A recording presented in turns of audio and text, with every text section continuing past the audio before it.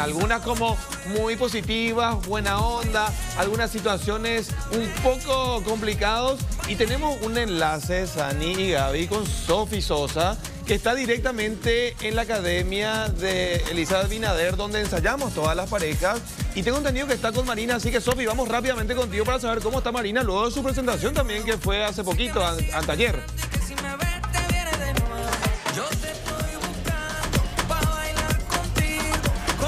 Ahí en breve vamos a estar con Sofi. Bueno, Marina, recordemos que se presentó el martes y su presentación, más allá de que el baile le fue bien, fue como bastante controversial o polémica porque como que salió a la luz ese conflicto de que ella tiene eh, con Nicole, ¿verdad? Que es Ah, otra de las participantes que- hoy baila, bueno, y hay como una especie de rivalidad o cierta tensión entre ellas, que me imagino que hoy también va a seguir porque Nicole se presenta al certamen y le toca el turno de bailar. Claro, Y, hoy. y ustedes están ensayando ahí y tienen horario, ¿verdad? Sí. O a veces se juntan todos, como es? Algunas parejas coinciden en horario. Yo, por ejemplo, coincido al mediodía la siesta con algunas y cada uno va marcando su horario de acuerdo a los compromisos también que tienen Claro, ya en su día a día. Exactamente. Bueno, estamos ya con Sofi. Ahí está Sofi. Eh, Sofi. Te escuchamos, Sofi. Interrumpimos un ratito el ensayo de Marina porque queríamos sí o sí hablar con ella, la primera participante en este 2024 en tener la nota máxima, en tener un 10 nada más y nada menos de Suni Castiñeira, una nota que obviamente generó muchísima felicidad para tu equipo Marina y que lógicamente generó cuestionamiento entre otras parejas, ¿verdad? Muy buenos días, gracias por dejar de bailar un ratito y acompañarnos en Vive la Vida. Buenos días, buenos días a todos los presentes, buenos días ahí en el estudio. Y sí, estoy demasiado feliz, estamos demasiado felices con el equipo, porque imagínate, después de cinco años vuelve el baila y somos la primera, o sea, el primer equipo en conseguir ese 10, es algo impresionante. Yo al menos no me esperaba. Porque yo soy una persona que jamás en su vida bailó. Bailaba en calle 7 con la profe Meli, pero era para, para entretenimiento, ¿verdad? Ahí no, no es lo mismo que estar bailando ahora en Baila conmigo. Entonces estamos demasiado felices. Encima en tu primera presentación. Así mismo, mi primera pres- presentación ya fue un 10, entonces es lo máximo. Llegaste a escuchar por ahí parejas, personas, bailarines, participantes que digan, no sé, no se merecía ella un 10, ¿verdad? Porque siempre se genera también ese tipo de, de conflicto. Una competencia, claramente. Exactamente, sí. Eh, escuché muchísimo ya, muchos rumores de que, hasta inclusive de coach, que estaban diciendo de que yo no me merecía un 10, que me merecía un 5. Y también el tío Dani, escuché por ahí. Tío Dani está ahí, ¿verdad? Está Sí. viendo, me está escuchando. Acá Escuché que dijo que no me merecía un 10. ¿Qué? Y yo ahí, No. Dani, tío Dani, ya no sos mi tía ahora. ¿Ah, qué? En Vive la Vida no dijo. En el streaming, en el streaming con el con Leo, con Ah, Leo que Rivas. Dani, te pillaron. No, en realidad lo que yo dije, a ver si Marina me está escuchando, yo no dije que se merecía, me preguntaban cómo viste la puntuación de Marina. Yo dije, la verdad que yo creo que Marina se lució en su coreografía. Sí lo que dije, creo que todo ese ambiente que se generó con ella también sensibilizó al jurado. Ahora, no sé si eso eh, repercutió no a la hora de subirle un punto, no, pero creo que Marina hizo una buena performance y se lució en su coreografía. Yo en ningún momento dije que no se merecía un 10 como nota, porque finalmente nosotros somos participantes, ¿verdad? Quien tiene el criterio para votar y elegir el jurado y por algo le habrán puesto, le, le habrán puesto un 10, ¿verdad? Ellos son los que tienen el, el criterio y la última palabra. ¿Y no mencionaste el 5? No, nunca, nunca dije un 5. O sea, Te ¿quién soy pasaron mal el chisme. Eso fue, el 5 fue de parte de un coach. De parte de un coach me llegó la información de que dijo así. Además de que digo yo que la nota ya están, los jurados ya votaron, ya ellos tienen la última palabra y yo sé que va a haber opiniones de los demás participantes, pero desde mi punto de vista ya está. Y con respecto a mi baile, si los demás quieren opinar, creo yo que le deberían de hablarle a mi maestra, decirle a ella en qué yo puedo mejorar y cosas así. Así ella se encarga de decirme a mí y enseñarme a mí en qué yo debo mejorar. Marina, yo te quería consultar cómo fue bailar esa noche, porque era tu debut, ¿verdad? Tu estreno. Decís que nunca bailaste encima en un programa, eh, que es el programa número uno de la televisión paraguaya, y no tuviste un día fácil el día de tu estreno, ¿verdad? Hubo varias complicaciones, incluso tuviste que tranquilizar a, la fanaticada. Sin embargo, vos saliste con una sonrisa, bailaste todo y después parece que ya no aguantaste más y, y- y lloraste y explotaste. Pero ¿cómo fue vivir todo ese día? ¿Y te parece justo o no todo lo que se generó justo antes de tu debut? Y realmente yo hasta el mediodía estaba súper, súper emocionada, súper feliz. Me levanté con una sonrisa enorme. Porque era mi día, me levanté con, con ese meme de que es hoy, es hoy, ¿verdad? Porque era el día de mi baile, era el día de mi estreno, iba a ser mi primera vez bailando en Baila Conmigo. Entonces fue una felicidad enorme para mí. Después, al enterarme de todo lo que pasó después del mediodía, tipo, me chocó bastante eh, ver ese video de que decían por mí que era una mala persona. Entonces yo no, no, entendía por qué motivo, razón se dijo por mí eso. Entonces después esta, mi maestra y mi bailarina estaban ahí conmigo. Ellos fueron mi soporte ese día. Ellos me estuvieron hablando hasta lo último.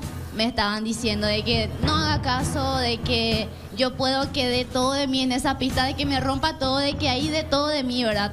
Entonces hasta lo último yo me aguanté todo, traté de no llorar porque cuando ellos me estaban hablando yo ya estaba ahí lagrimeando, ¿verdad? Porque me chocó bastante. ¿Qué fue lo que más te dolió? ¿La palabra falsa o la palabra que no sos una competencia? ¿O qué, qué, qué fue así la palabra clave que a vos te... Y realmente fue que digan que soy una mala persona y que quieran desmeritar el logro ajeno. Porque yo salí campeona, ¿verdad? En calle 7 fue un trabajo súper largo, pasé por muchísimas cosas y que vengan a decir de que no, no, no merecía o de que no, no soy esa persona, entonces eso fue. Eso fue lo que me bajoneó bastante, pero después traté de... Creo yo que en el escenario no se notó eso hasta después de bailar todo, que me empezaron a preguntar y explotó todo ahí. Hoy en día, ¿cómo está la situación? ¿Ya pasó eso? ¿Ya bailaste? ¿No se le cerró la cuenta a nadie? ¿Tuvieron alguna charla? Ella estuvo, estamos hablando de Vane Nicole, ella estuvo en el, en el streaming la noche que vos bailaste. ¿Se cruzaron por los pasillos? ¿Pudieron solucionar? Nos cruzamos ahí cuando yo iba a bailar esa noche. Para mí que ella se, se estaba dirigiendo hacia el streaming y yo iba a entrar para bailar. Nos cruzamos. Hasta ahí, no me habló nada, yo tampoco le hablé a ella. Nos cruzamos, solamente eso. Ella no me habló, yo tampoco le hablé, todavía no, no coincidimos, no nos cruzamos ni nada de eso. Pero a mí me gustaría personalmente hablar con ella y si es que coincidimos, voy a tratar de hablar con ella. ¿Qué le dirías? Y hablar personalmente con ella, preguntarle del por qué ella tiene ese concepto de mí y cosas así, ya que nosotras, nosotras jamás coincidimos así, eh, jamás compartimos camerinos, competencias y cosas así. Preguntarle por sobre todo el por qué ella tiene ese concepto de mí. Marina, eh, eh, yo te quería consultar algo, dos preguntas. La primera, lo que me llamó poderosamente la atención fue lo que te dijo Moliniers, eh, como que él dio a entender que él sí le maneja a su fanaticada, a sus seguidores, que lo ha hecho toda la vida, y que vos como que no le manejás a tus seguidores, ¿verdad? Y como que deberías de hacerlo. Esa es la primera pregunta que te hago. Y la segunda pregunta, esta noche baila Nicole, también quiero saber qué pensás sobre eso, si cómo le va a ir, si cómo la ves. ¿Verdad? Pero la primera pregunta primero, ¿verdad? Porque él como que te va a entender que vos no sabés manejar a tu fanaticada y que él sí sabe manejar la, la- la de él. En ese punto, Pitu, eh, yo después de enterarme todo lo que, lo que pasó del mediodía, ¿verdad? Yo siempre hablo con mis fanáticas, siempre trato de decirles que ellos sean un ejemplo, ¿verdad? Que sean inteligentes, porque ellos son muy intensos, entonces en todo momento tratan de defenderme a mí. Entonces yo les digo, bueno, cálmense, no le hagan caso, traten de ignorar. Y en este caso, lo primero que yo hice ese martes fue eso, enviarles un audio diciéndole de que no hagan caso, de que ignoren nomás todo lo que dicen, porque es algo que no se puede evitar, ¿verdad? En el caso de Molinier me dijo de que sí se podía. Y Y- yo salí ahí y yo sí les dije. Pero lo que pasa es que muchas veces hay otras fanaticadas que hacen a propósito con malas intenciones y tipo tratan de de dejarme a mí como la culpable, ¿verdad? De que yo no les hablo, de que yo no les sepa manejar y cosas así. Entonces eso también la maestra dejó en claro ese martes en vivo. Dijo, y yo tengo audio, ¿verdad? De que yo les dije de que ignoren, ignoren y que ya no le den alas a eso, que, que no hablen. Eso fue lo que yo les dije y hay pruebas de eso. Y sobre el baile de Nicole hoy,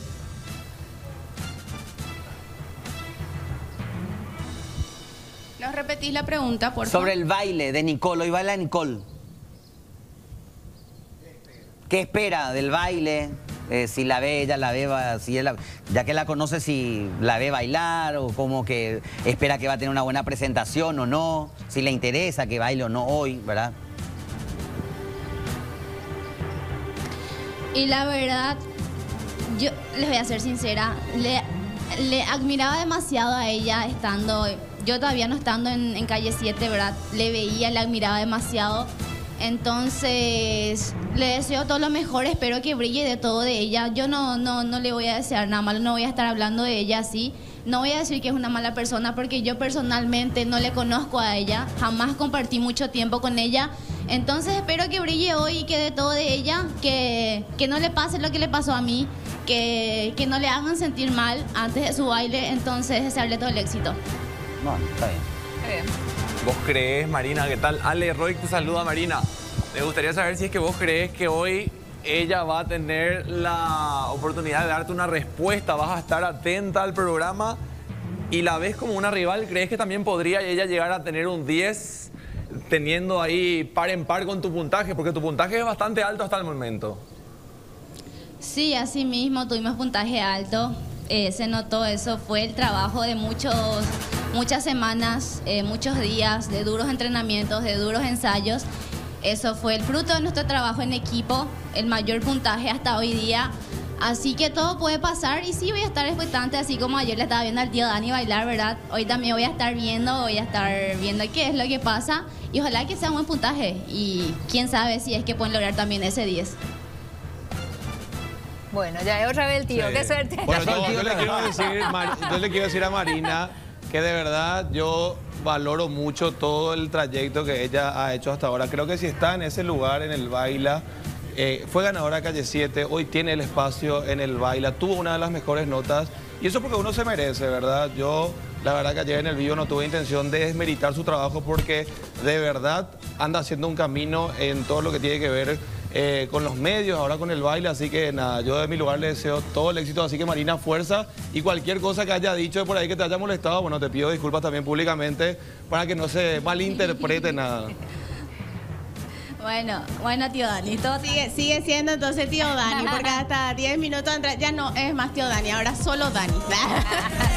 Exactamente, todo bien, todo tranqui entonces. Bueno, qué suerte. Gracias, Sofi. Hasta acá con el enlace. Un gusto escucharle también a Marina con su versión y, y ver un poco también estas internas que se van teniendo.